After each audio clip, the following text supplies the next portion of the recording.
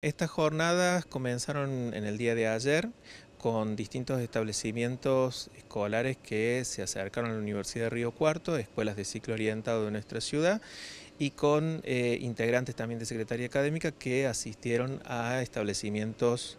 este, de la ciudad. Es, en, estos próximos días se va a estar continuando con el desarrollo de estas actividades. Son tres talleres básicamente los que se llevan a cabo. Uno relacionado con cuestiones de la escritura eh, académica, la alfabetización, otros que tienen que ver con eh, la huella digital y un tercer taller que tiene que ver con eh, elegir este proyecto de vida eh, la universidad como proyecto de vida.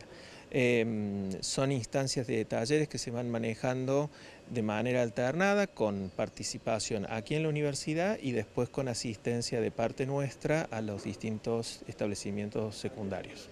¿Cómo se llegó a la organización de estas propuestas de trabajo? ¿Se realizaron anteriormente reuniones con directivos? Sí, esto surge a partir del mes de septiembre cuando mantuvimos un encuentro con responsables del Ministerio de Educación de la provincia, con la inspectora este, zonal y los directivos de las escuelas secundarias, en este caso de ciclo orientado,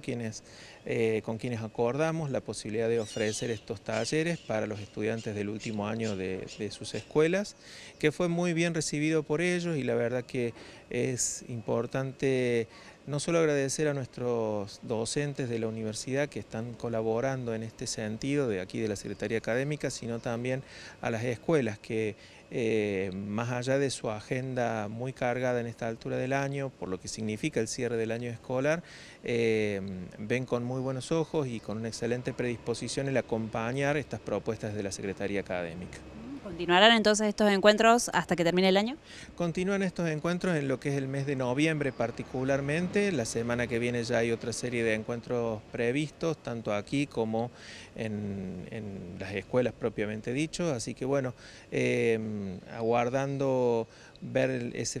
esa finalización de estas actividades para hacer una evaluación de lo que esto ha resultado, pero entendemos que por lo que han sido las experiencias de ayer han sido muy positivas, tanto lo que nos han manifestado los docentes como lo que se pudo recabar de los mismos estudiantes de, de secundario que estuvieron aquí con nosotros.